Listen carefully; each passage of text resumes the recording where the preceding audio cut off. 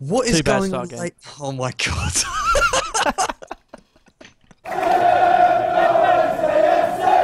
What is going on, ladies and gentlemen, and welcome to Let's Talk Football podcast 700,673. I am here today, unfortunately. Go on, introduce yourself. What is going on, everyone? GINGIEx here. Hi, I'm not. I'm not introducing it for once. I'm Kurt Yo, and you probably know who I am if you've watched all the other episodes. Unfortunately, we're not joined by J&O because he is uh, working, I think. He's working, the late shift. However, next week he will be on. That's, that is a promise. If he's not, then I'll run around the street naked. You heard it here first. Kurt's going to run around the street naked. So, last week was an eventful week. I I think we can agree. Yeah. A lot of stuff happened, uh, so we have a lot to talk about. So get ready for your four-hour podcast with Kurtio and Gingy. Uh, so I guess first place to start is the three games that I've um I've highlighted. Uh, none surprise. I mean, I, I'm not surprised. So I've gone for Stoke one, Villa nil. Um, no, so uh, I'm going to start off. I'm not going to start off with the one I was originally going to start off. I'm going to start off with Arsenal three, Manchester United nil. Uh, Now, it's interesting because last week Sanchez, as we all saw, uh, had a very good week. You know, gaining himself a hat trick. And Arsenal had, you know, they've had a pretty decent two weeks, I guess you could say. 5 2 against Leicester and 3 0 against Manchester United is a very good sort of two weeks in a row. So, Sanchez, is he back for this season, Kurt? What, what do you reckon? Is he is he starting to hit the form he's been showing from last year, or? Well, I think it was only a matter of time because Sanchez shown throughout last year he's got quality, he can produce, and I think generally he just needed time to sort of fit into you know the player he was because you know maybe you know you could say lack of energy, you could say lack of playing time, uh, but we've seen in the last two games if he's got to the form in which that we all expect of a Sanchez sort of um, performance, which is just terrorising the opposition. And it shows because, especially against Manchester United, it showed A, Sanchez, you know, on his day is destructive, and B, when Arsenal play Man City and Sanchez plays against Aguero, a footballer nuclear bomb is going to go off when they collide. Yeah, no, that, that that is something that could happen. I mean, that's something that I'm gonna have to lock lock my room and everything just to start. you know, I might even have to book the day off work if I'm working, just for that match. but yeah, uh, I, I think it's good for Arsenal's sake, of course, that he's back. I mean, quite early on in the season, you could tell that there was a spark missing because he was something that was very key for them last year. You know, having Sanchez on their team on their team must have just been unbelievable at times. I mean. I can't really imagine how much of a lift he gives to players when he's playing like this. But you know, it's good for their sake that he's back. Uh, that has to be said for sure. Yeah, definitely. I think the Arsenal game in general, I mean, first 15 minutes in which where they scored two of the goals and a few minutes after they scored their third goal, 77% possession. Yeah, no, I I did notice that. Uh, that's actually my second note. I said Arsenal showed dominance in the first 20 minutes with over 75% possession. Yeah. That that that is how you win a game. If you can control the game for 20 minutes and take your chances like they did, it's it's an unbelievable way. I mean, I was very surprised because I actually looked at the uh, full time stats, and Arsenal actually ended up having 38% possession. Well, that's because the, the when United get into the game, they spend you know 85 minutes just passing it you know across their defence. You know, and as soon as give it to Michael Carrick if he's playing, it goes straight back to the goalkeeper. So like, oh on, we get forward, counter attack time up. Carrick just kicked it back to his own goalkeeper. Carrick, Carrick could be through on goal and he'd turn around, round the keeper, just turn around, and just boot it back to De Gea. It's it's Yeah. ridiculous at times. Um, so the, I've also ruined my next um, thing as well because I said Arsenal took their chances, which they did because they only had five shots on target, which was actually the same as Manchester United, uh, but they scored three goals from their shots on target. So it's actually Yeah. quite, you know, it, it it does make a massive difference, doesn't it? Really, when you have the ability, when you've got the players that will take the chances. I mean, Sanchez getting two and Ozil actually getting one as well, which is also good to see because he's one of those players that can be fantastic one week and absolutely abysmal another. So, of course, for Arsenal's fans, it's very good. So, I don't know if you've got anything to say on their chance taking. Or... Ozil is constantly been criticised in the past for you know his a stat that is you know very important to us football manager. You know, I'd say I wouldn't say you know a football manager like addicted to it, and it's the big game you know stat. Do they perform Oh, in yeah. big games? Big game Ozil was players. constantly been criticised for you know lack of good performances in the big games. In that game, he was, for me, one of the best players on the pitch because he could not be stopped. His passing, you know, was what you expect of a Mesut Ozil game, exquisite. He scored the goal. He had well, he had Manchester United, you know, scared, and uh, their back four of um, Darmian. Who is, is an okay right back? We had a shocking game. Minus one points in the Fantasy Premier League. Got taken off at half time for Valencia. Smalling is probably the only defending defender you've got, and then you've got Blind, who's a midfielder, and Young, who's a winger, in the back four. You know, Ozil can exploit that all day, and he showed how good he can be when he's on his A game, and shows that he does have a big game statistic to him. Yeah, no, I'd agree with that, but I also think that um, he's one of those players that, well, he's gained that physicality that you need in the Premier League now, which is what we were speaking about with Lamela last week, of course, and it's something that Sanchez and Aguero already had when they came over to the Premier League, and Tevez as well. They've all got Yeah. that big sort of build to them, and Ozil's starting to get a bit stronger and a bit bigger, and that's why he's going to start performing a bit more in these big games because it's something really important. It's a really underlooked sort of a I guess you could say ability that some players have. Just the ability to hold someone off for a few seconds while you've got hold of the ball, and then you can release it much easier. And he's Yeah. definitely showing that he's gained from playing in the Premier League. Yeah, I think there's well, there's two other key things for you know both Arsenal and Manchester United fans. Arsenal, you could comment, have they finally found their best eleven, and you know with their best eleven, can they challenge for the Premier League? 'Cause this is the Manchester United team that you know in previous weeks have been maybe you know maybe they've got you know a chance, and going over to Manchester United saying Arsenal found their best team, Manchester United are still nowhere near that. And if you, you know you're three 0 down at half time, if you're going to take off, you know, a, a world what, considered a world class right back for a winger, and you're going to take off one of the Europe's best wonder kids, on the, one of the Europe's best wonder kids, one of Europe's best young wingers, for Marouane Fellaini, it, it shows that they have not got the numbers. And for, for me, I think their best eleven, they they, they if United are going to get top four, um, they I think they will still get top four if they're going to challenge any further than that. They need to make you know three, four more signings in January because their squad is so so sparse and it's nowhere near you know title challenging as we've we've seen by Arsenal brushing them aside.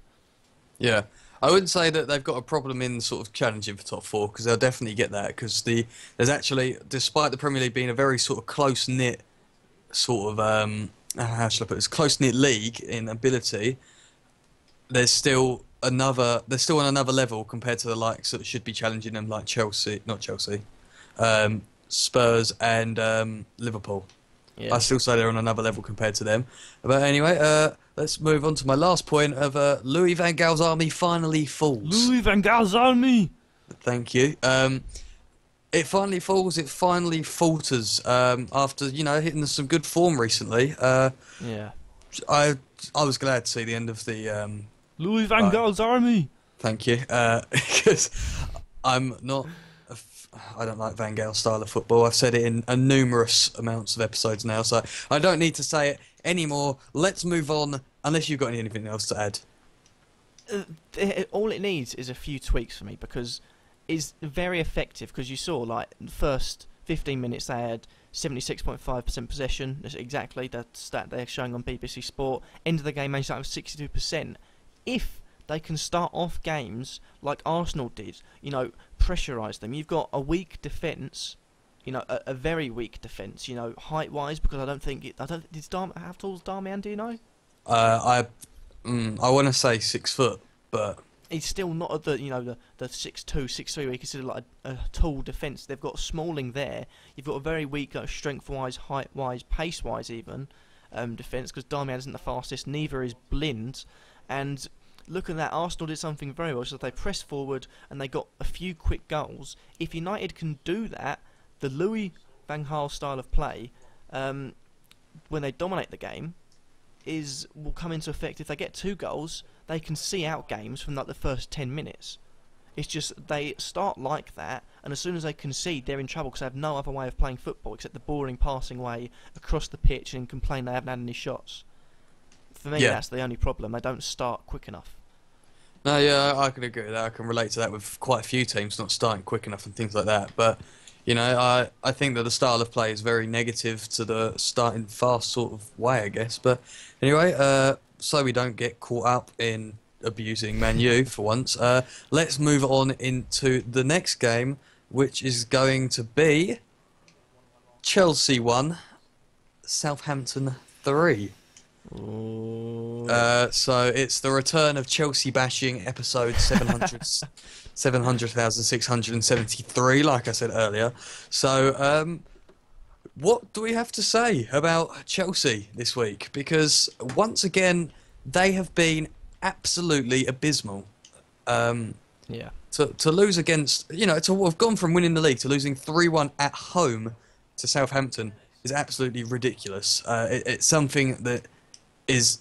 It's not feasible, really. When, when if you think about it, it's something you can't be doing as the current champions. But I don't know. What have you got to say about it? I I've lost for words, really, for how badly they've been performing. Well, I did do a quick video, or I did a quick three videos on a few things over the weekend because I knew the podcasts are going to be long. So I thought, I, uh, even if I do videos on it, there will still be uh, loads to talk about. I did a video um, solely focusing on Mourinho and where things are going at Chelsea.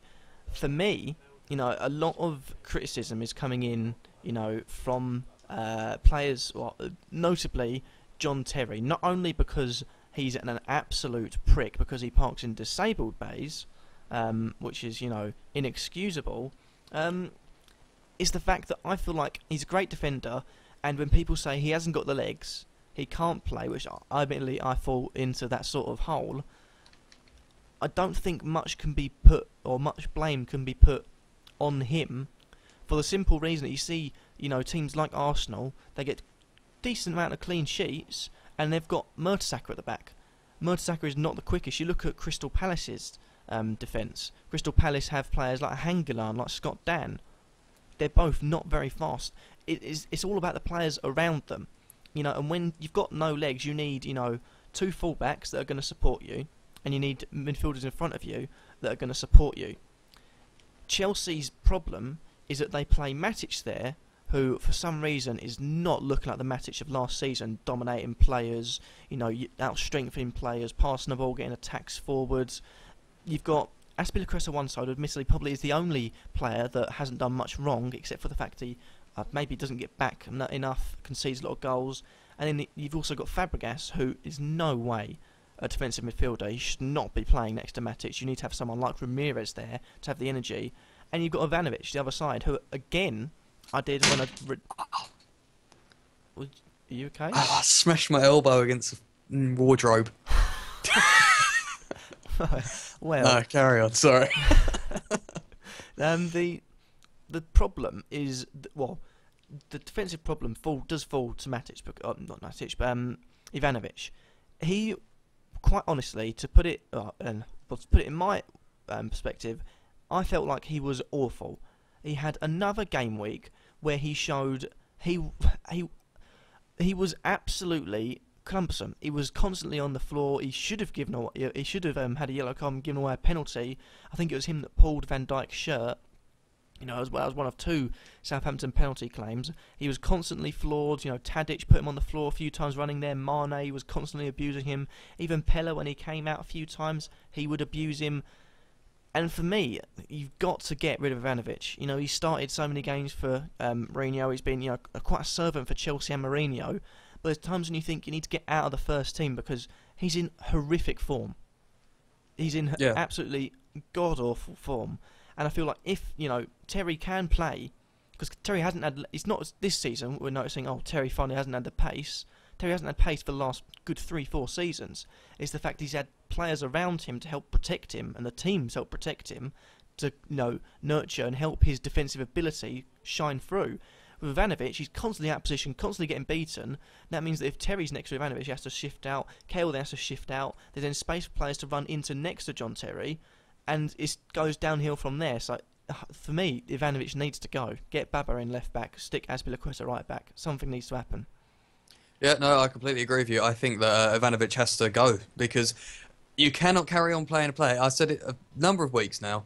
You cannot keep on playing a player if they're playing like crap because they're just Yeah. going to think, well, you know what, I can keep on playing like this and I'll get picked every week. It's where he's already gone wrong there just by doing that because it's just such a negative mindset to have. But it, I just feel like he's gone past the point where he can actually help himself anymore. It, Mm. it just you know because he's he keeps on picking the players that are playing absolutely terribly. Like it's not like they're having oh the odd bad game. Like th- did Hazard even show up again? I mean, that's Hazard another thing. Did uh, he, he showed, you know, glimmers. He won the free kick, and that's about all he did. You can't really say though by showing glimmers that he's there because I would say that just by showing glimmers of something. I mean, most players do that every week. Yes, But you know, I think that Chelsea have just gone past the point. I'd say past the point of caring, but it's obviously not that. But you know, the thing is that you're saying about um, height and every, uh, sorry, not height, uh, pace at the back. Hmm. Uh, Terry's pace has, of course, shown for a number of years. But however, I think that height is also a big issue for Terry because unlike the likes of Hangeland, Mertesacker, and Dann, he's not six foot five plus. that's a good point. He is what six foot three, six foot four, something like that. Yeah, He, he he hasn't got those extra few inches that those players have, which is why they don't struggle as much. I would say because they've always got that slight height advantage. But yeah, of course, I'm not excusing that why Terry is playing terribly. I think that Chelsea need to buck up their ideas, start playing the players that deserve to play, like Baba Rahman, you know, give him a chance. Azpilicueta at right back, like he used to play, instead of Ivanovic being there. Uh, giving the likes of Kurt Zouma a few games. I mean, he's not been brilliant, but I would say the Zouma and Cahill partnership has worked much better than the uh, Terry and anyone partnership. uh, I thought that Ramires was really good the other day when he came on, when he scored the goal uh, uh, in the Newcastle. Game. Yep. Uh, and he actually looked dangerous throughout that Newcastle game. yeah, Uh, so Ramires and Matic is definitely the partnership that you want there. You want Hazard to play on the left, Fabregas in behind, Pedro on the right, or whoever, Oscar, or however he wants to do it, and then up front, well, Falcao. Uh, but you, ne- you need Oh, Falcao. well, Costa's suspended, isn't he? Oh, okay. I thought you were going to just go. I'm not talking about in the future. Oh, uh, okay.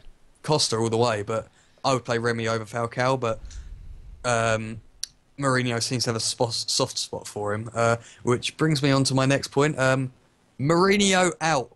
Question mark. It's a tough one.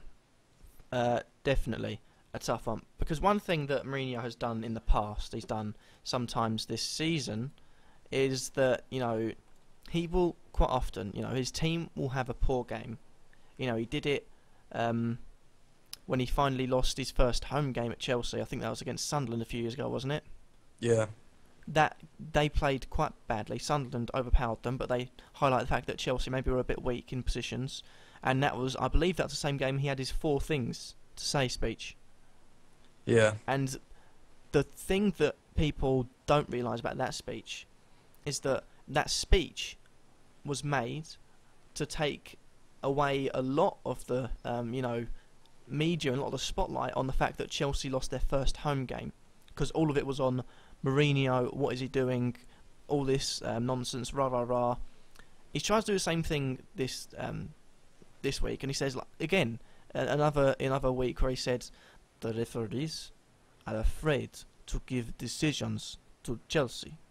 My poor, um, probably just Middle Eastern accent, if you can even get it. Which it's it's a load of rubbish because if if the referees were scared to give decisions to Chelsea, you know, and they're scared to give decisions in general, it would have ended up five two, not three one. Because Southampton had two clear ones, and for me, you look at Falcao's chance, he's already falling when contact is made. He's anticipating it. He's falling over, and I.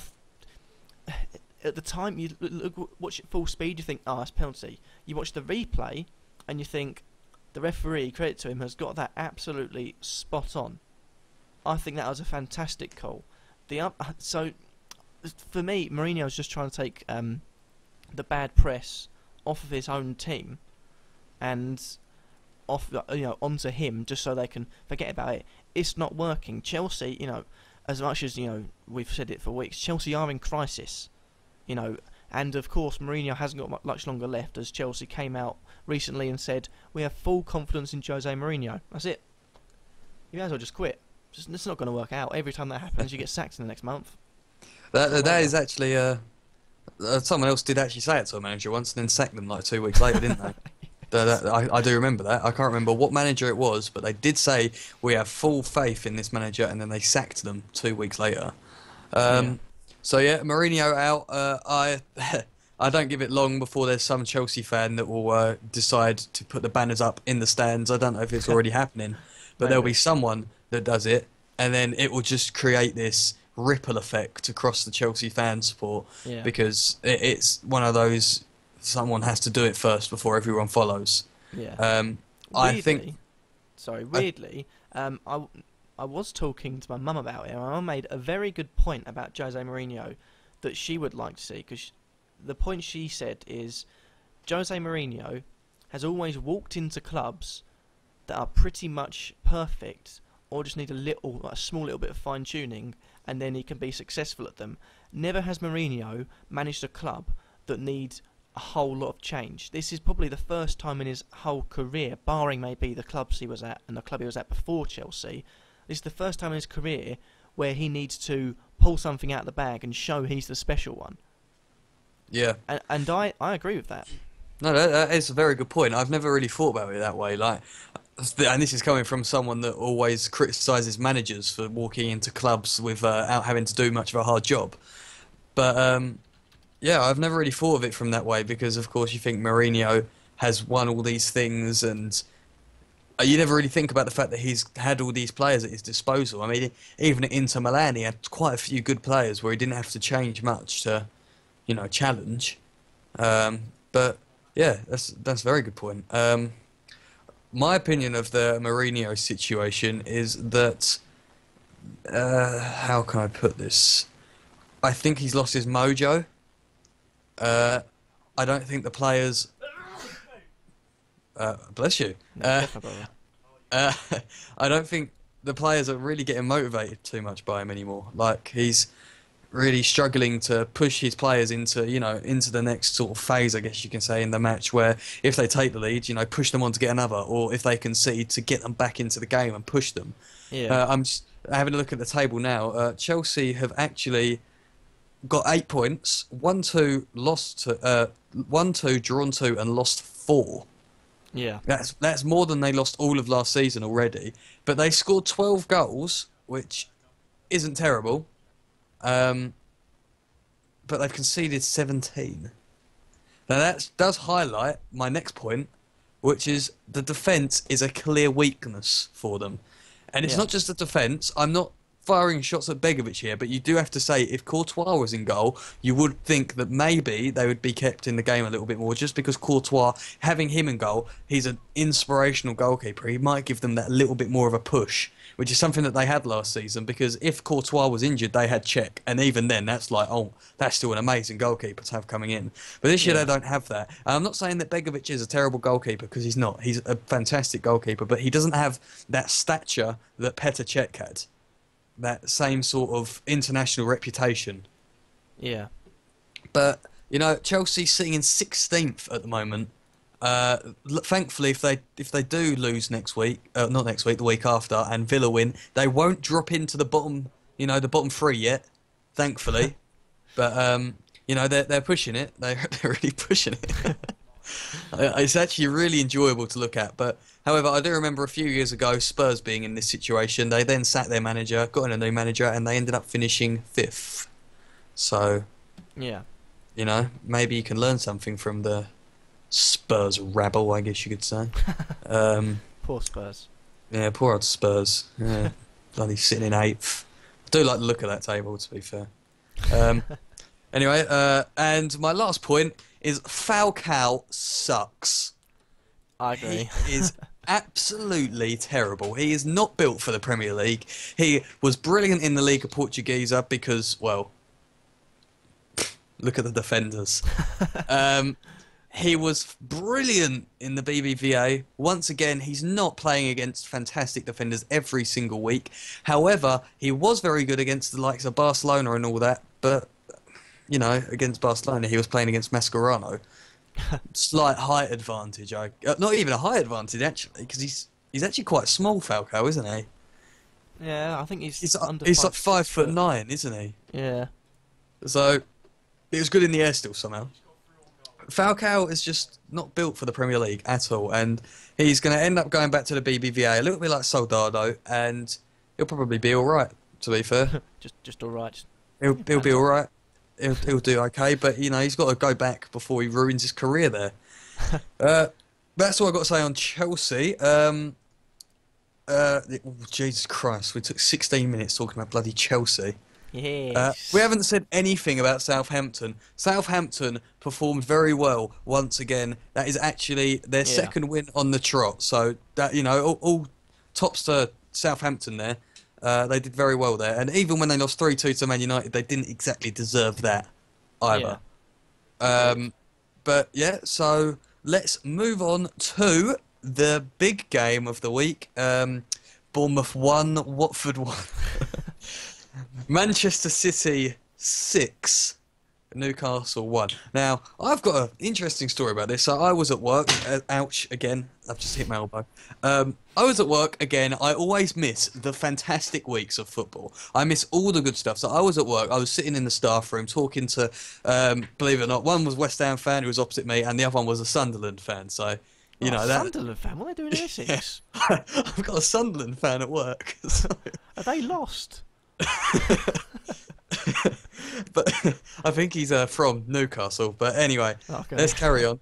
Uh, I was up there and I got up there for about half time because that's what I like to do. I t- like to take my lunch at half time, watch the second, well, not watch the second half, but keep up to date the second half. And I was just on my phone on Twitter because it was faster than Sky Sports. And um, I was like, oh, uh, so I I didn't realise that City went in at 1 0 and then had a look. Five minutes later, oh, 2 1 City. Two minutes later, oh, it's 3 1 to City. Aguero again. Um, uh, actually, did he score the third one? Yeah, he scored the third one. Yeah, okay. Right. And uh, then I was like, Aguero hat trick. And then I was like, oh, and it's 4 1. Aguero scored his fourth or something. And then someone else scored. I can't remember who. Now, De Bruyne scored the fourth at 53rd minute, and then it was Aguero in the 60th. Okay, yeah. And then I was like, and then Aguero got the sixth. And I was like, uh, so. Um, it's sort of 6 1, and Aguero has scored again. And then Pellegrini, the killjoy, had took off Aguero and brought on Wilfried Bony to defend out his 6 1 win. It's, ab- it's absolutely terrible. I wanted Aguero to break the all time goal scoring sort of record in one match. Yeah, which I think it is I five goals. believe He- it's, it is five goals. I want him to get a sixth because it was only the 60th odd minute. And the form that he was on, he was bound to get another one for sure. And Pellegrini just ruined it. So I'm going to have to recreate it on Football Manager just to relive that moment. but my first uh, heading is Aguero! So, yeah, uh, Aguero was unbelievable. Um, I've spoken a lot, Kurt. What do you think about Aguero? I'm quite glad he came off because I'd already lost by quite a disgusting margin of 61 points in the um, head-to-head on Fantasy Premier League because the guy I was playing against had Aguero as his captain and also Sanchez in his team, and I end up on 13 points. He got 100, so I don't care about Aguero coming off. That helped me not get Jesus. embarrassed. I mean, I did get embarrassed. 61 points difference is quite horrific, but uh, whatever. I don't care. But Aguero, I think, Okay. again, it was a bit like Sanchez. Once he's, you know, match fit and he's like 110%, you know, you get games like this. But eh, is it, was it all Aguero, or was it the fact that Newcastle, for a good 40 minutes, looked like the Newcastle of a, quite a few years ago that was strong at the back, and then looked like the Newcastle of John Carver and Steve McClaren's time falling apart in defence? It's a I would mixture of both say- for me. Yeah, I would say it's a mixture of both. Uh, but I would say it's not only the fact that Man City were exactly, you know, it wasn't all Aguero, it wasn't all that, but David Silva was back, and David Silva got two assists in that Yeah. match. So I would say that that played a key part in it. Uh, not only that, but you've also got the likes of Navas actually chipping in for once, De Bruyne getting two assists and a goal. So you know it, it was it was not exactly like it was one thing from one player or anything. Uh, Aguero, of course, was the main headline, of course, but Silva and De Bruyne chipping in with two assists each is very good, of course, and a goal Yeah. for De Bruyne. So it wasn't exactly a one-team effort. And imagine if Kompany was playing as well, they could have kept a clean sheet because Mitrovic, you know, it was good to see him score finally Yeah. for the sake of sake, sake of his yellow cards uh, at the moment. Um, but yeah, I mean, it, it was good to see Mitrovic scoring, Wijnaldum getting another assist. Um, yeah, I mean, I've not got much to say about how badly Newcastle played because I think Newcastle still suck because how. I mean, I, I'm about to actually be quite um, hypocritical here, but uh, Newcastle were 1 0 up and end up losing 6 1 how you can be I guess you could say sort of quite defensively sound and then just throw it away in the space of 20 minutes is just unbelievable. Uh, and you may be wondering why I'm being hypocritical, and that is because West Ham actually did the same thing against Arsenal about two, three years ago, where we took the lead and then conceded five goals in the space of 20 minutes. Interesting fact there for you all. Um, so my next point is: Is this what City needed to get back on the bandwagon? Well, City are going to win the league again, and that's good to see. Now they've won Well, again. They're okay, brilliant. again. Brilliant! You've just you've just taken away my last one. Oh, sorry. Just go and carry on. I'm I'm angry now. But um, you know, just quick question. Um, Oh, he joined. Whoa, you can't do this. I'm I'm meant to be in charge. Oh, hang on, and I'll be right back. One second. Yes.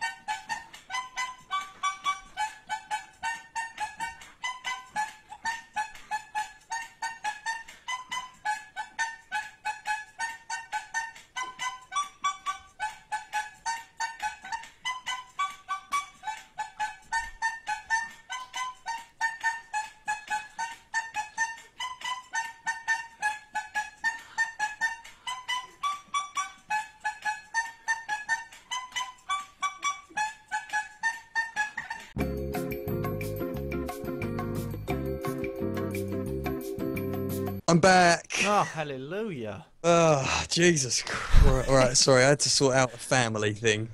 God, I hate My- that word. Ugh. Yeah, ba- basically, my sister uh, hasn't told us where she is, so uh, I had to call my dad and ask my dad, and she's at football training. Uh, was the end result, but anyway, anyway uh, where were we? Um, I was about to ask you a question. okay, what is your question, good sir? Um, just a bit of trivia. Where Ooh. I scored five goals, four other players have done it. Who are they? Alan Shearer Yeah. is one of them. Yeah. Uh, oh God, I saw this the other day. Um, Alan Shearer, Thierry Henry? Nope. No. Okay. Ouch. Uh, right. I hit my elbow you can again. have two more guesses. There's four of them, and you have four guesses. You have one right, one wrong. Alan Shearer. Um. Oh, there's one that's like I looked at it and I was like, I don't remember him being scoring many goals. Uh. No, I, I ain't got nothing. Suarez. No. Oh, what, really? No, never scored Uh, five. he got four. He got four. He got four. Four and an assist. Um. Alright, I'm gonna go for Michael Owen. No. Okay, right. I suck. Alan I Shearer got was one. one.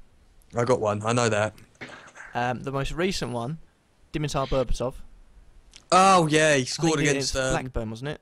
yeah, something no, like I remember that one. That that was one of them. That was the one that I was like, did he really score five? Then I remembered he was good once. On the odd game.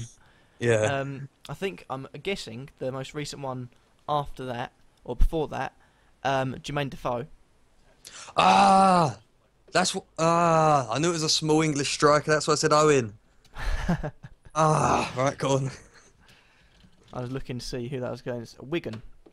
We're and yeah. the last one is uh, probably the I'd say the oldest of the lot. Uh, Andy also- Cole. Yes, Andy Cole. Yeah, I remember that one now. Andy Cole. That was against Ipswich. I know that one. Yeah, that must be the- quite a while ago because uh, Ipswich the- haven't been uh, around up there in ages. I think that's In- the up game there where he in the uh, BPL. the game where he the um, nine one to Manchester United, I think, or nine 0 One of the- one of the biggest results in the Premier League history as well. yeah, not not a bad scoreline really when you look at it, is it? But yeah, that's all I wanted to say really before you ran off. yeah. yeah so, sorry about that, guys. Um, so I guess it's time for me to run through the results. As will they still win the league? Has gone out the window. Uh, my my I still think they're going to win the league. Uh, I didn't doubt them at any point during the season. Ever. It's either Man City or Palace. It's one of the two. So um, actually, to be honest, the way Arsenal have played the last few games, I, I wouldn't you know say that they're far off. Uh, result- if Arsenal get a good result against City, all of a sudden the pressure's on City. Yeah. Um, uh, and who Arsenal got in the next game week? Um, I don't that is that's a good point.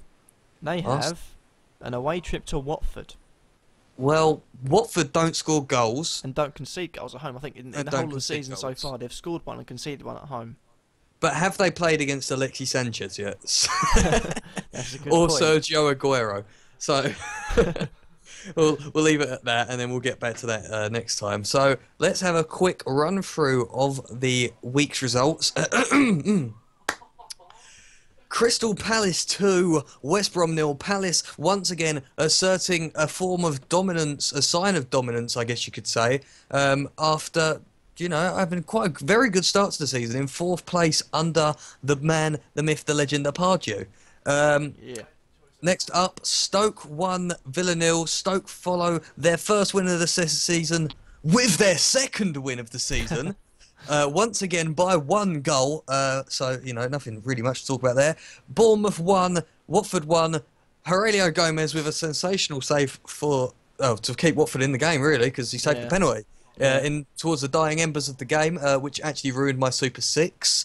Thank you, uh, Gomes. Uh, d- d- d- d- well, City six, Newcastle one, uh, Norwich one, Leicester City two, Leicester finally, I say finally, uh, reviving themselves after last week. Uh, and Norwich, you know, quite unlucky really. They're, they're having quite an average start to the season. They're doing all right, but Leicester just overpowered them.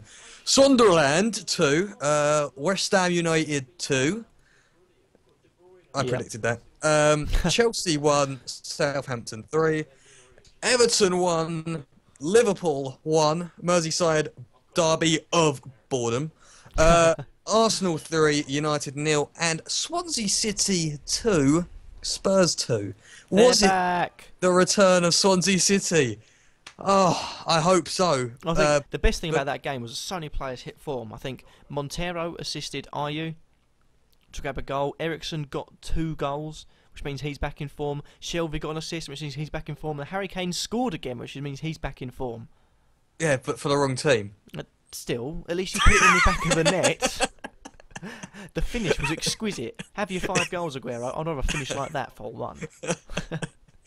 Did he actually uh, get minus points for that? That's a bit harsh. He got- Minus two for an own goal. he ended the game on zero.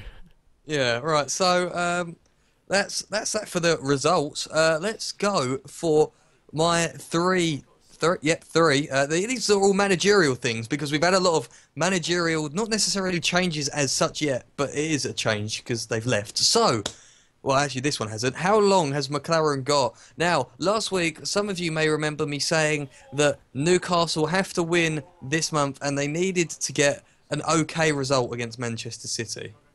Now, losing 6 1 is not an okay result against Manchester City. uh, so, basically, Newcastle are left in the predic- predicament where I feel like they have to win every single game this month. Actually, no, that's a lie. They have to be unbeaten for the rest of the month for McClaren to keep his job. What do you think about that, Kurt? Norwich at home, which is, you Yeah. know, that's doable. Uh, uh, no, it's a tough game still, though. It's a very tough game still. Yeah, I'd I'm say, not, I'm not I'd down say there. they could get a point. They could get a point. Norwich. Uh, so I think Newcastle have uh, got a chance uh, at home. It will help them. Sunderland away, which is huge. That's Uh, a massive game. To be honest, I think that's where jobs could be won and lost. Yeah, Definitely. that, that that is a huge game, especially um, as my next point will be about Advocaat. Uh, but we'll get onto that in a minute. And then to end off the month, they've got Stoke at home. Yeah, now that Stoke game and that Sunderland game are the two games that really stick out for me because, of course, Stoke have you know they've not done too well so far this season, but Sunderland is that that's the game of the season so far. I mean, it's going to be a lovely nil-nil draw. uh, you know, actually, there's something that Sunderland Newcastle never fails, and that is an entertaining game. Uh, well, I say that they're three-three draw. I'm thinking of a few years ago, and then Sunderland five, uh, Norwich, uh, Norwich, Newcastle one when Paolo Di Canio was in charge. Uh, but yeah, uh, that's I, I don't think McClaren's got long, as I've said. But we'll move on now to the other side of Tyneside. Is it Tyneside? I think it's Tyneside. Um, Dick Advocaat has left. Uh, finally, Big Dick gone. big the, the big Dick Advocaat's gone. Uh, Dick Advocaat's gone, and I it was going to happen sooner or later. Uh, I'm surprised that Advocaat kept his job for less time than Newcastle, but he has said quite uh, iconically that the Sunderland squad isn't good enough. He's got a Um, point. I mean, they are shocking. No, yeah, I, I would agree, but he's got players that don't want to play for him, like Defoe didn't want to play because he was basically pushed out to the wings. I think and they still have a player called uh, they signed from Inter Milan called Alvarez. no, no, no, he's gone back to Inter Milan. Oh, okay, never mind. Yeah, Uh, but he, he was decent last year, Alvarez. yeah. But yeah, uh, Sunderland's fixtures that well they've got coming up, so they really need a manager like it by ten days time, because they've got West Brom away, which is going to be a tough game because it's a Pulis side. Um, and then they've got Newcastle, which is the biggest game of their season probably so far. Yeah. Uh, then Everton, which Lukaku could run right in, and then Southampton. So they're not easy games at all. And Sunderland, if they're going to stay up this year, they need to get something from one of these games. And I'm not talking about a point. I'm talking about they need to win one of these games, like massively. Well, I think they'll win the Newcastle um, derby because something Yeah. that N- uh, Sunderland have done well over the years is sacking their manager right before the derby, bring a new manager in, and their first win as new manager is in the derby. Poyet did it, um, Di Di Canio Canio did, it. it. and Advocaat did it. Whoever comes in, who I think the bookie's favourite at the moment is uh, Moyes. Yeah, I've, uh, I'm just looking at uh, Moyes as the current favourite, but I, I've got my own boss that I think's going to take the job. But We'll get onto that in a sec, I suppose. yeah, yep. but I think it's definitely um, uh, it's definitely something that needs to, well something needs to happen because they are in deep, deep trouble. They're in deep doo doo at the moment. Uh, I don't think they're going to stay up at this rate. I actually I- said it at the start of the think- I think season it's too late. They need a lot of signings at um, January, in January. and at most they need Pulis or Allardyce, and I don't think they're going to get Allardyce. Well, that is actually who I my favourite to take the job would have been. Oh, He's well, I wouldn't say the favourite to take the job. He's the one that Ellis Short uh, is the name of the Sunderland director, I believe. yeah, Uh, but he's the one that they need. yeah. Because need despite me absolutely despising Sam Allardyce's way of football, he did get West Ham back up, and he did solidify us in the Premier League, and that is credit where credit is due. Yeah, Sunderland need that Pulis type, that Sam Allardyce type, to keep them in the boss. Now, when you think of players, uh, sorry, uh, managers to keep you in a division, Allardyce is probably the best of the best. yeah. Pulis is up there, um, and so is like Pardew, but Pardew I'd say is on a different. He's the other end of the scale. He's not someone that keeps you in the league. He can actually push you on as well. But if you're looking for someone to just simply keep you in the division, Allardyce is your man. And Sunderland, if you're gonna get someone to keep you in the division, you need to be willing to pay Allardyce what he asks for, which is a hell of a lot of money. I'll tell you that. He was actually in the top ten most paid wa- managers at West Ham in the world. Well, you pay, you're Uh, basically paying for your club to get a secure spot in the Premier League. Yeah, and that is a lot of money to, to be said. Like Yeah, that is a ridiculous amount of money to keep your team in the Premier League, with all the TV rights and everything, you're looking at a good 40 million just for the TV rights alone. Yeah. So you know it, you need to be looking at definitely getting in Allardyce. And I would say actually I wouldn't say the same about Newcastle because I know how badly Newcastle treated Sam Allardyce. Uh, so I wouldn't see him going back there. If anything, he, I, he would only go to Sunderland just to spite Newcastle. Definitely. Uh, Sign Kevin Nolan. no, no, no, no, because um, Sunderland uh, know that they wouldn't sign Kevin Nolan because of what Kevin Nolan did to them a number of years ago, where he scored a hat trick and rubbed it in their faces somewhat. Uh, with James but- and Steve. Yeah, Sunderland, you need to be looking at someone like Sam Allardyce. I don't think Moisey is the solution, I'm afraid, because Moisey is someone a bit like Pardew, where he can push your team on if you're in that sort of mid-table position, but he can't. I won't say he can't keep you up because he can, but you have a look at Pardew, what he did at Newcastle last year when he got sacked. He's the same sort of manager as Moisey, I would say. Yeah. Keep a mid-table team pushing up, but you can't keep a mid-table team from going down. Um, Yeah. But that's all I've got to say about the Advocaat replacement. I think it should be Allardyce if they want to stay in the league. Well, another one that uh, well, the two favourites for most betting sites um, everywhere. Uh, Allardyce is favourite. Shortly behind him, Nigel Pearson. Uh, I would say that Nigel. One. the thing is with Nigel Pearson is he's actually a bit of a thug when you think of it. Are you an ostrich? Yeah, Okay. cool. uh, uh, he's a bit of a thug, and he could probably strike fear into a few managers. But I don't think he's the man to keep them in the league because he did do well at New- Leicester last year. But the thing is that he had at Le- Leicester is momentum. Mm. They had a lot of momentum and they had a pacey team, whereas I don't feel like Sunderland have that momentum or that pace. Yeah, definitely. Um, so Sunderland need to get in a man that's going to win them a few games, even if it means that they park the bus for 90 minutes and get the odd goal. uh, what does surprise me though is why Advocaat left after drawing 2-2 with West Ham. Uh, because that is actually not a bad result based on West Ham's away form this season. But he did Yeah. say that he is leaving a sinking ship. So, you know, captain's leaving the sinking ship. So, I, I think Sunderland's still going down. No matter who they bring in, they're still going down. I think, to be honest, they're a lost cause. And for me, even though some players, Villa are lost cause, Newcastle are the only team in the current bottom three that can fight up for me because they've they've got the team um, to fight up out of relegation. Because if you can get you know Mitrovic firing, who's a, a number nine alike, big, can bully defenders, bully, bully, bully, bully defenders. Um, I love bullies. Um, uh, the people that can bully people, you know, over and over again, just bullying in general. I just love it. And um, that was inside joke. Yeah, no, I, I've I've got it.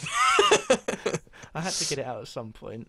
Um, I, I was just sitting here. At first, I was like, uh, yeah, I was like, yeah, yeah, bullies, yeah, bully players like Carroll, and then I, I was starting to think about it. I was like, he's not thinking about Andy Carroll, is he? It's just like- But you know, when you got Mitrovic there, you got Wijnaldum. If they can get what seems to be one of the biggest wastes of money this signing or this season, um, Florian Thauvin, I think his name is. I have Yeah, no Thauvin. idea how he's worth over like double figures in the millions. yeah, Awful no, no, signing. he's been terrible so far. But also, you've got players like Musa Soko as well. You've got a need to sit back. They've got a decent team. They can just get them pushing forward. They've got a chance. Yeah, no, uh, Newcastle do have a chance, just like they have a chance every year to stay in the division, uh, and they probably will this year. Yeah. If they replace their manager in enough time, uh, I'm afraid the Wally with the Broly isn't good enough. But um, they've got some fantastic players, like Moussa Sissoko can he he can run a game in that midfield. can He's really a player. Some players. He, he's a player that reminds me a lot like uh, Yaya Toure, Cheikhou Kouyaté, those sort of big, massive animals in the midfield. Bullies. They're bullies in the midfield. But anyway, we'll move on to, uh, I would say, one of the less so surprises of the week. Brendan Rodgers finally getting the sack and the man to replace him. Well, there's no debate about it. I mean, I'm looking at the odds. I mean that you got the the the four close runs. You got 20 to one, uh, Frank de Boer, 20 to one, Jurgen Klinsmann, Uh, 12 to 1, Carlo Ancelotti. And then 1 to 50, Jurgen Klopp. I don't think he's favourite, though. I don't get. I just think he's maybe got like, a slight edge. Don't know what it is. Uh, uh, I wouldn't like it if Klopp went to Liverpool just because of that close thing that I have with Borussia Dortmund and the fact that I despise Liverpool. But you know he will do very well there. Uh, but I mean, he had a very bad year, year last year with Dortmund with all those sensational players. So maybe the hype is not as good as it could be. I don't know. I do think it it, it, it probably is a, the right step for him because you compare Borussia Dortmund, a team you know that the fans you know that will get behind it. It's, it's a cauldron of a stadium. You think Liverpool, not a few years ago, like when they were in Champions League and that sort of time, they had a cauldron in Anfield that did not stop making noise from 30 minutes before kick-off till 30 minutes after kick-off. You know, yeah. it was a, it's a cauldron of noise. You got very passionate fans. You had a passionate manager. Klopp would walk into that and fit, you know, the old Liverpool sort of, um, you know, build manager, just point for point, you know, word for word, action for action. He is what Liverpool would call a perfect replacement. But the big question is, does he show great character? does I, I I think that Jurgen Klopp is a very good manager. To be honest, um, yeah, I think he'll do well at Liverpool. He'll he'll be able to inspire some players because he's someone that reminds me a little bit like Bilic. He's very passionate. He's very passionate about football, and he's very. Um, I'm trying to think of the word. Um, I'm not going to say excitable, but it's like that. Yeah. Um, I know what you mean. When it comes to football and you think of Klopp, he's just mental. He he'll be on that touchline and he'll be pushing on his players by running up and down and things like that. And I think that it's what Liverpool need, to be honest. However, I do also. Well, actually, I did say I don't think they'll get Klopp at first, but it seems pretty set in stone that he's going to join. My other tip was the old Marseille manager, uh, Uh, who Bielsa, left? Biesla. Yeah, Yeah. Biesla. Uh, he was my other tip, but you know, um, it's only talk at the moment, of course. So Yeah, there's nothing in. Set in there's stone. nothing set in stone, but I think that it's going to be very interesting the next few days, and actually the next ten days, because I know that Liverpool want to like announce their manager by Friday, um, yeah. because you know they wanted to have a bit of time with the players that aren't on international duty Yeah. before the actual next match, which is against. Um, oh, if they got Spurs, Spurs, Spurs, yep. Yeah. Liverpool versus Spurs, which is going to be a tough game, of course, as it always should be. But you know, having a player like Danny Sturridge in your team, he could he can lift any team uh, now that he's back anyway. Yeah. But yeah, I, I'm pretty sure Klopp is set in stone. But you know, I, I still think there's an outside chance that the likes of Bielsa could take it if uh, Klopp doesn't get the job. Um, yeah. have you got anything to add to that, or Well, when uh, sorry, if Klopp comes in, what is Liverpool's best eleven? Because there's problems everywhere. If he's got a fully fit squad, who is his best eleven? see? I would say his best eleven will be to play a four-one, a four-one-two-one-two, or a four-five-one. One of those two. But with a four-one-two-one-two, the thing is, he's got two very like sort of like to like players in the likes of Firmino and Coutinho. Of course, Coutinho is going to play over Firmino, but if you had to play a 4 1 2 1 2, you would have um, Clyne at right back, Sakho and Skrtel, because why would you play Lovren? uh, left back, you'd have Moreno. CDM, CDM, you would have uh, Milner slash Henderson. Uh, I would say more so Milner because I think Henderson is very, very creative in the Yeah. middle of midfield. Uh, you'd also probably have Firmino in centre mid, and then in CAM you'd have Coutinho, and then up top Ings and Sturridge all the way. No Benteke if he's fully fit. No, ben, no Benteke. No Benteke. Wow. Um, wow. because that Ings and Sturridge partnership could work out like Suarez and Sturridge, but I'm not comparing Ings to Suarez, of course. Uh, however, Sturridge and Benteke could still work. I'm not saying that that won't work. Yeah, well, it's not even that small Sturridge when you think of it. Big but man, pacey man. yeah, pace a little, uh, pace and a little bit of pace. but yeah, I mean that could work. That would be uh, Liverpool's best eleven, I'd say. Uh, oh, and of course you got to have uh, Mignolet in goal because they've got no other choice. What about Bogdan? How dare you?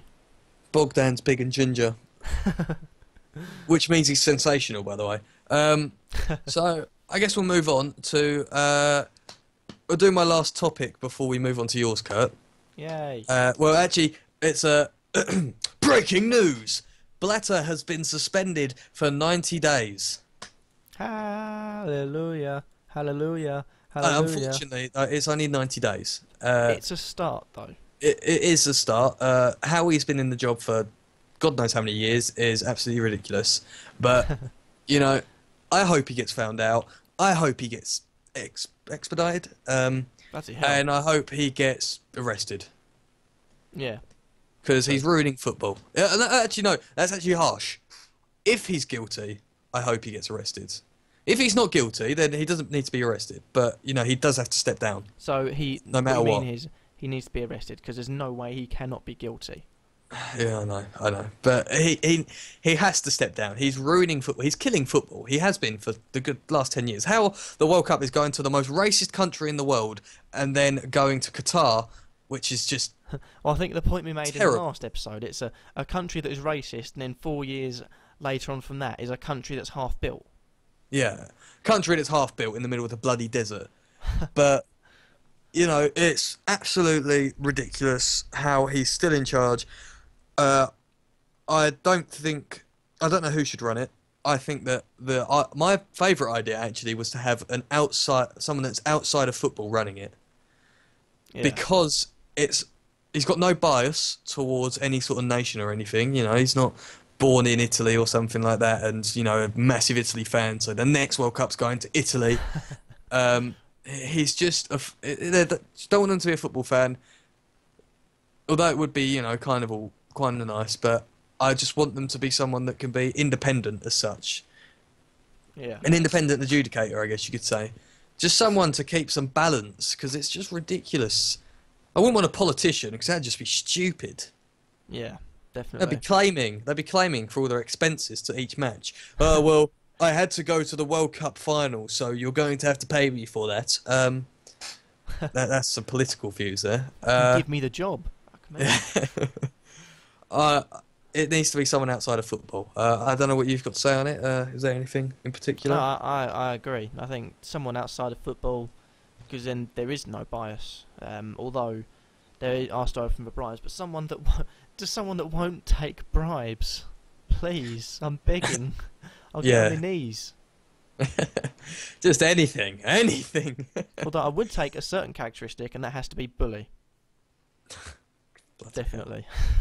Right, uh, moving on. What's Kurt's topic? And please don't say it's bullying. well, as you may know, I like a big bullying number nine. no, I'm joking. Over the weekend, we've seen Advocaat resign and Rodgers get sacked, which brings me on to think. Uh, so I don't like the fact that there is too much money in football, and we've seen two cases of managers leaving with or having spent a lot of money. I mean, I did. I, I said I did uh, videos on it um, before the podcast. Um, the first two I did, one was on um, Rodgers, one was on Advocaat. In both, I said the failure, you know, has to be down to the board because knowing that you know Rodgers isn't their most favourite man, give him 80 million to spend and sack him two months into his like, new season is bizarre. That's 80 million pounds that maybe another manager would have put elsewhere. They've also let go of their best player, which was Sterling, and although a lot of criticism is given his way, he was one of Liverpool's best players, as well as Advocaat. He's not going to be there in a season's time. He'd already resigned, and from what I know, they basically, well, they tried their hardest to get him back, and he did come back. But then he, he said, as soon as he come back, I'll, I'll resign if I feel like you know a better man could do, or uh, someone better can do the job. And uh, for me, you've given 30 million. They've signed like 10 new players this transfer window. And once again, like Liverpool case, it's another case where they know eventually the manager's going to leave. Unless they're miraculous performances, even at the end of the season, you've signed a whole new squad for one season when he's already left, you should be looking to get another manager in. Like say, from that point, you could bring someone in that's going to sign decent players. You've got players, you've got um, managers like you know Big Sam. You know you've got players like Ni- oh, managers, sorry, like Nigel Pearson. They're available. Managers from abroad, they can sign in a team. They can build a team that will not go down. Uh, Advocaat's team he's built, it, it, it, it was awful. The signings they've made are horrific. I'm just going to get them up, hopefully on the screen, so I can talk about them quickly. But for me, it it's just stupidity from the the board above them because in both cases, if I was bored of both of them, if I knew that I wasn't going to like Rodgers and a few bad results he was going to go, I would be saying, look, cut my losses, get rid of him now. Klopp's just left, bring him in, bring him in at the start of the season, because Liverpool can challenge for the top four spots, in which they can't do now. I think the top four spots for this season are over. It's a bold statement to make, but you've got to look at the fact that Chelsea eventually, I think they've, although no team has started this badly and finishing in the top four, I think Chelsea can break that trend. Man City, Arsenal, Man United have pretty much all shown they can secure their spots. You've got teams like Liverpool as well, uh, Liverpool, sorry, like Tottenham. You also got Everton doing okay. You have got West Ham, Leicester, and Palace who will, you know, try and maybe get Europe this season, which will really make a bold statement to the teams that are flopping, as well as Chelsea pushing up there. it's just money is taken over football, and it's it just shows that if something goes wrong, you just chuck money at it. They didn't like Rodgers. They didn't like, Advocaat. They knew was going to leave. They've chucked money towards them, saying do something with it. They've done something with it. They've left, so they're going to chuck money to get them um, away, or in Rodgers' case, chuck money to get them away. Then you've got to chuck money at a new manager who's going to chuck money, uh, you know, out of other players and other teams in the January transfer window all for they could have cut their losses and you know not even spent 80 million. I mean, Liverpool signings weren't the best in general. I think one the best player and the only good player they've signed is Clyne, Clyne and Milner. For me, it's just money is taking over, and I think from a football fan's perspective, it's ruining football, and, and that's seen because like I said in my videos, Sunderland and Liverpool, Sunderland and Newcastle, um, out of the top European leagues, were in the top 15 clubs that spent the most, and they're on three points each after eight games. yeah, no, I did see that. Uh, I would say that football uh, is controlled by money these days, uh, but it also does show that money can't buy you everything. Yeah. Because you look at the likes of Juventus, their midfield has cost them nothing, yet they're dominating the they're dominating Serie A last the past few years anyway, not this year. But for uh, that's going on to a different tangent completely.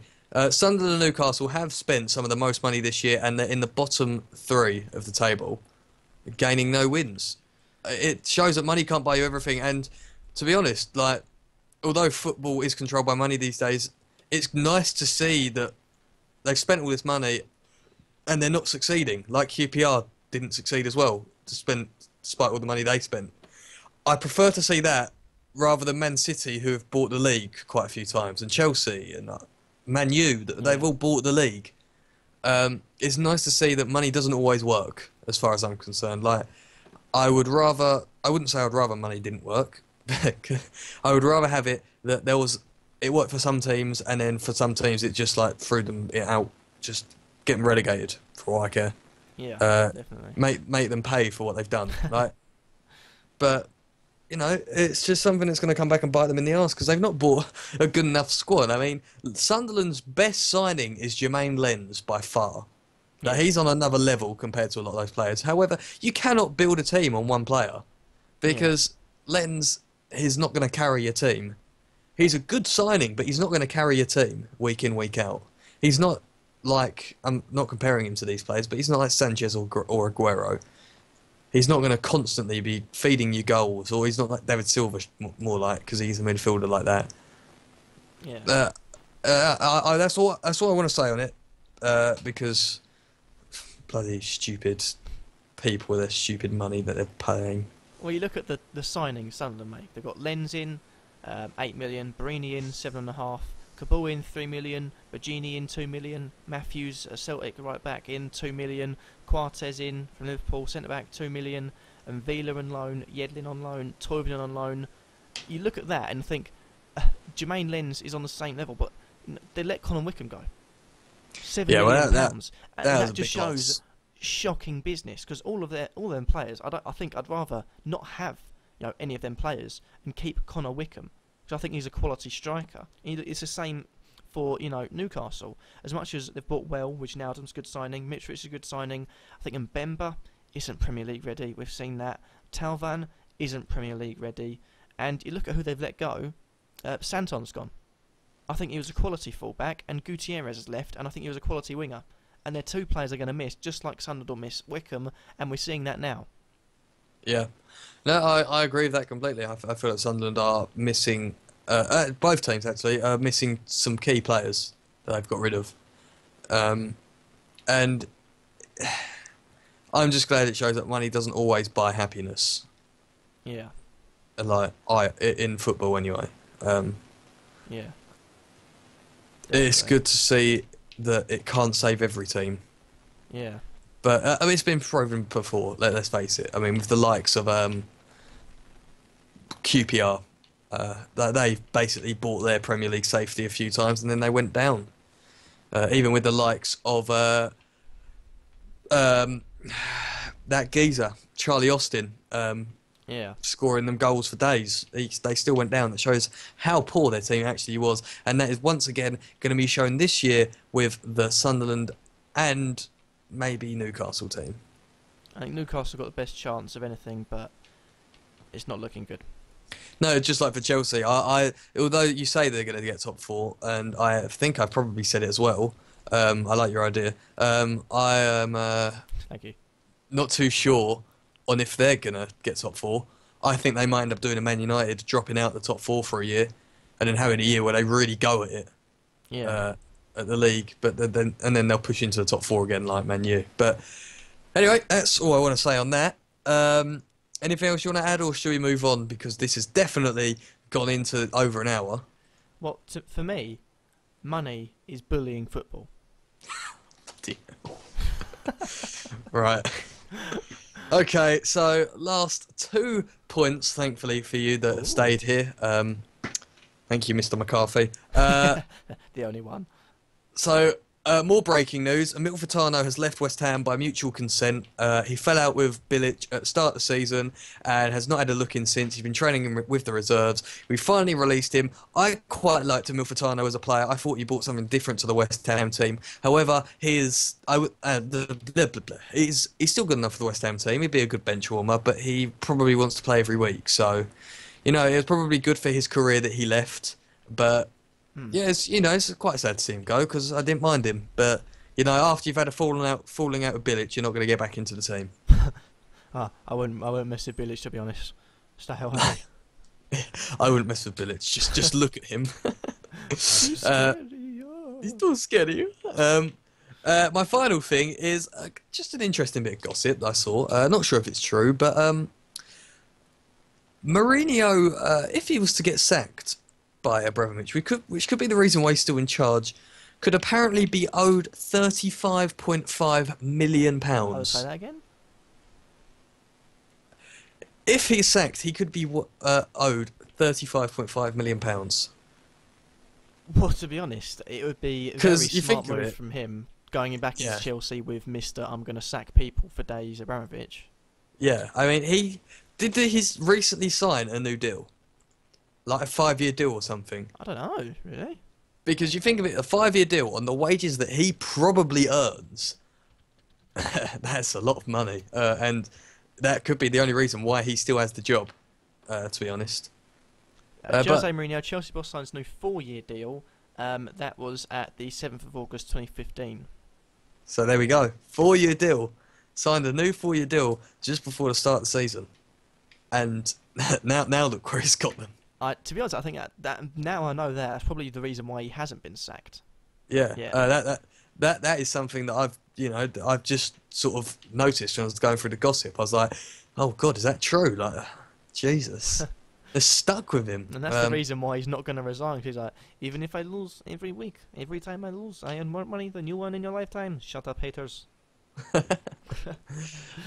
So yeah, that, that's just an interesting fact. I thought you'd bring it all, uh, but Uh, that's all I've got to say this week. Uh, next week is the international break, so get prepared for one of the most boring podcasts ever. You might even make it to the end if you actually. No, You might. There's no point me saying this because no one's made it to the end except Thomas. Mc- Could you relay this message in the comments, Mr. Thomas McCarthy, to everyone that doesn't make it to the end? Um, so yeah, this is going to be uh, interesting next week because say, I have a everyone hates- things planned out for next week. oh okay. Um, am I still going to host it? You know, I've, I think I've done all right, Mister Stelling me. Well, to be honest, let's, I'll, I'll you use a bit of a backstory here, everyone. So basically, one person. Um, the reason Joe hosts this week is because he bullied me into making the decision.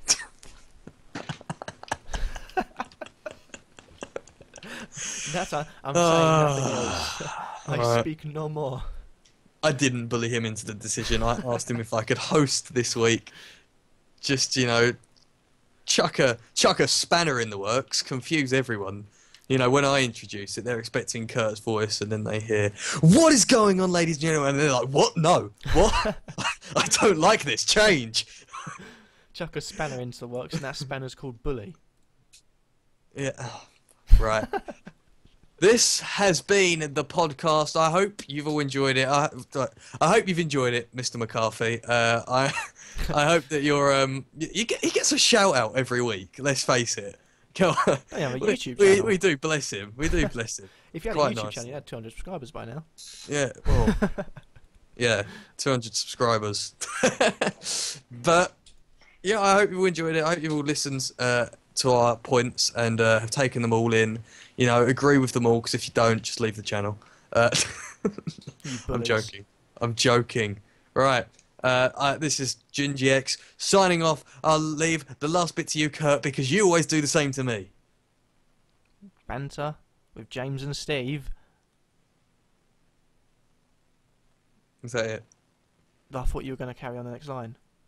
No. Well, oi, oi. peace.